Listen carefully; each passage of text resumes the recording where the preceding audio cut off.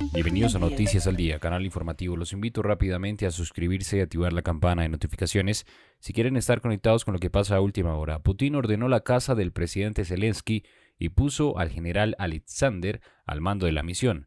El nuevo jefe de las operaciones rusas en Ucrania, conocido eh, por su brutal accionar en defensa de, bueno, en Siria tiene como objetivo principal eliminar al presidente. No olvide dejar un comentario en este video y me gusta también para apoyarnos de antemano. Muchas gracias y recuerde también compartir a través de las redes sociales.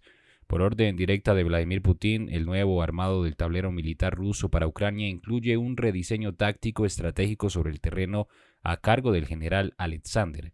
El nuevo comandante ruso llega precedido de una reprochable reputación que los indica eh, por su actuación en el conflicto civil del país árabe. Allí condujo arremetidas conjuntas de contratistas rusos y fuerzas leales al dictador eh, Bachar Assad, las que bajo sus órdenes arrasaron eh, la ciudad de Alepo y la totalidad de la región de Duma. Las operaciones militares a cargo de, bueno, en Siria son investigadas actualmente por un tribunal alemán que aplicó el principio de jurisdicción universal para crímenes del conflicto por el uso de armas neurotóxicas. La investigación está centrada sobre los mandos de tropas rusas, quienes también utilizaron eh, estallidos eh, sobre la población civil, las que están prohibidas por un tratado internacional firmado por 37 países en 2008. Estos hechos le han valido su incorporación a un listado de militares rusos sancionados por el Reino Unido y ser incluido en la investigación por crímenes en el expediente que tramita en Alemania. Considerando los antecedentes del general, Washington, Bruselas y la OTAN manifestaron preocupación por el reciente nombramiento del controvertido comandante por parte de Vladimir Putin. La Unión Europea ha sugerido que la designación enciende luces rojas sobre las semanas por venir en el conflicto en curso. ¿Qué opina de esta noticia? Nuevamente los invito a suscribirse y activar la campana de notificaciones. Gracias por estar acá. Noticias al día. Mariupol muestra escenas de devastación.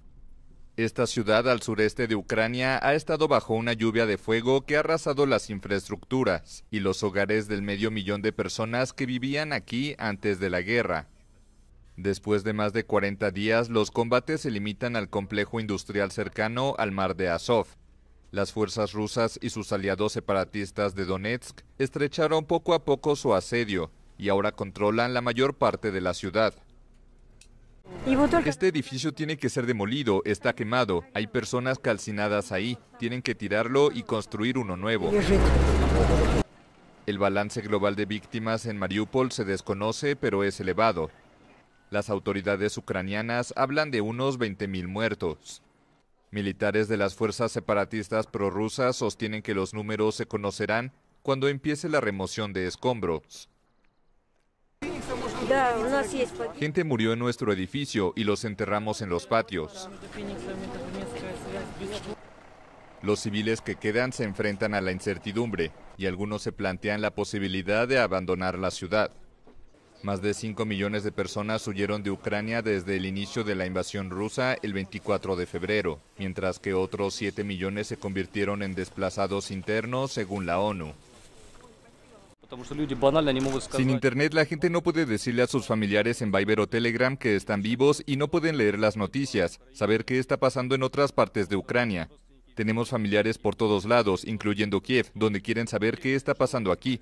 En Rusia también tenemos familia. Corrimos bajo las balas, ahora somos simplemente gente que quiere vivir. ¿En qué país queremos vivir? Eso lo veremos más tarde. Tenemos familia en Rusia, quizá vayamos allá. La conquista de Mariupol sería una victoria importante para Rusia, ya que le permitiría consolidar su posición en el mar de Azov, uniendo el Donbass y la península de Crimea, que Moscú se anexó en 2014.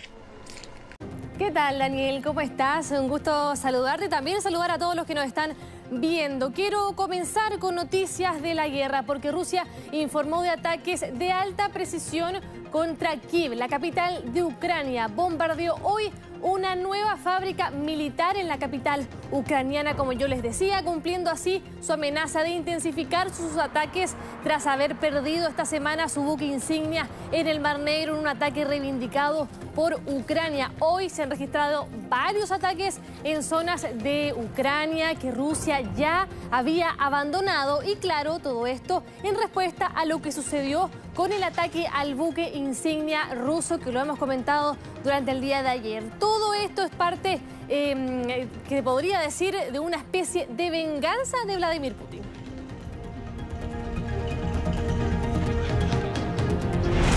Y en esta misma línea, polémica causó Moscú tras el anuncio de que prohibirá la entrada, escuchen bien, la entrada a su territorio del primer ministro Boris Johnson y de varios altos, eh, otros altos cargos de su gobierno como respuesta a las sanciones impuestas contra Rusia. En un comunicado, el Ministerio de Relaciones Exteriores eh, de Rusia indicó que esta medida fue tomada como una respuesta a la desenfrenada campaña informativa y política destinada a aislar a Rusia em, de forma internacional y estrangular a nuestra economía. Y ojo con esto, el presidente ucraniano Volodymyr Zelensky advirtió que la eliminación de soldados ucranianos en la ciudad puerto Mariupol, ciudad asediada por Rusia, podría eh, poner fin a cualquier negociación de paz con Moscú. Entonces, tenemos ataque de Rusia contra Boris Johnson y además una amenaza de Ucrania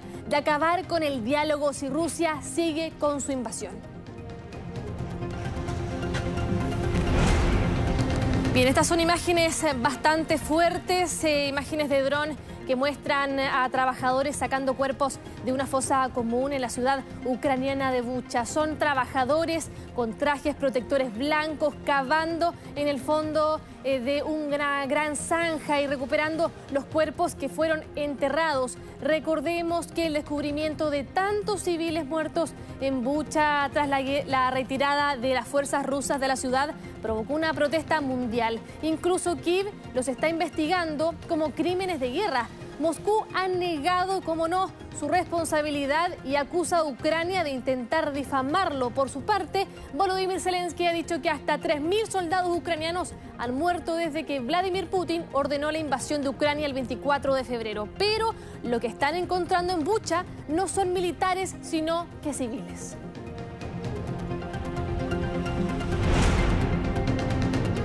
Bien, lo vemos en imágenes. Protesta contra la guerra de Ucrania. Rusos, refugiados y pacifistas se unen en las tradicionales marchas de Pascua en Alemania. Todo esto está ocurriendo en Alemania. Manifestaciones por la paz en Berlín, organizadas eh, principalmente por estudiantes ucranianos. Muy interesante esto. Los rusos también están en huelga de hambre para demostrar su protesta contra la agresión de su país en Ucrania. Las manifestaciones por la paz en Düsseldorf, realizada tradicionalmente todos los años en Pascua. Estas son las imágenes.